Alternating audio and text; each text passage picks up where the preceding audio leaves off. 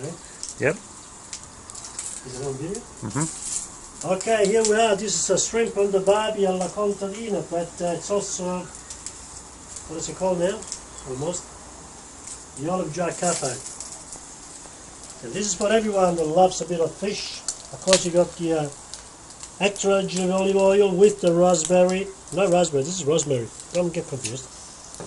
And our chopped up prawns, you see? It's all about the skill.